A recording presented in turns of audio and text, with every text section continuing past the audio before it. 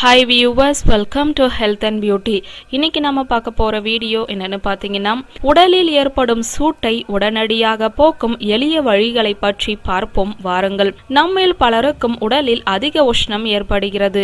இது முக்கியமாக அதிக நேரம் வெளியில் பயணங்கள் மேற்கொள்வோருக்கும் அதிக நேரம் நாற்காலி சோஃபா மீது உட்கார்ந்து இருப்பதாலும் ஏற்படுகிறது.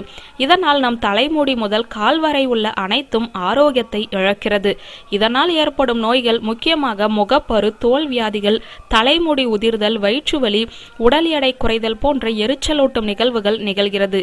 இதனை சரி செய்ய நம் சித்தர்கள் அன்றைய காலகட்டத்திலேயே ஒரு எளிய வழியை சொன்னார்கள். அதை பற்றி பார்ப்போம்.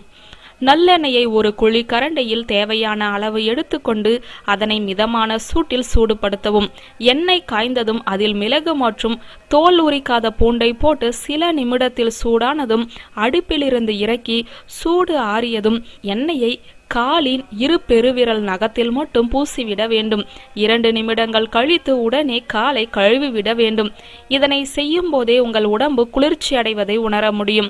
இரண்டு நிமிடத்திற்கு மேல் இதனை விரலில் வைத்திருக்க கூடாது. சளி ஜுரம் உள்ளவர்கள் இதனை முயற்சி செய்ய வேண்டாம்.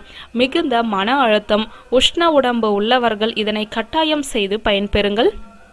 இதனை செய்வதன் மூலம் ஆண்களின் விந்து விருத்தி அடைந்து மூன்று மாதத்தில் குழந்தை பிறக்குமாம்.